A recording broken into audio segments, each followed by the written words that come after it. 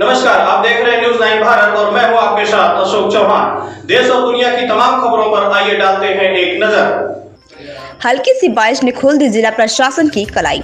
प्रधानमंत्री के सांसदीय क्षेत्र वाराणसी को वीआईपी के तौर पर जाना जाता है। उसी क्षेत्र में कमिश्नरेट वाराणसी का कार्यालय स्थापित है, जहाँ जिला प्रशासन अपने कार्यो को लेकर तमाम बड़े बड़े दावे करती है। तो वही एक हल्की सी बारिश जिला प्रशासन के द्वारा किए गए कार्यो के दावे का कलई खोलने के लिए काफ़ी है, जहाँ हल्की सी बारिश होने के बाद कब स्टेट कार्यालय के बाहर पानी इकट्ठा हो जाने के बाद न सिर्फ़ फरियादियों को परेशानियों का सामना करना पड़ता है, बल्कि कमिश्नरेट कार्यालय में कार्य कर रहे कर्मचारियों भी परेशानियों का सामना करना पड़ता है और खुद कर्मचारियों के द्वारा वैकल्पिक रास्ता निकाल कर कार्यालय तक पहुँचने का काम किया जाता है। सवाल यहाँ पर यह कि वीआईपी और कमिश्नरेट कार्यालय का कार्यालय स्थित है तो पूरे जनपद के कार्यालयों की क्या स्थिति होगी? यह तो सोचने वाली बात है। न्यूज़ नाइन भारत के लिए तौफीक खान की खास रिपोर्ट।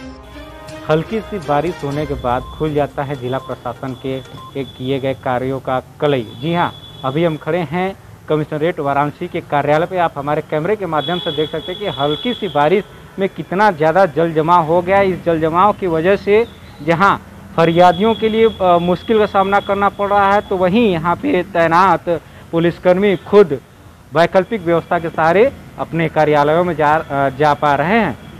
वाराणसी से तौफीक खान की रिपोर्ट।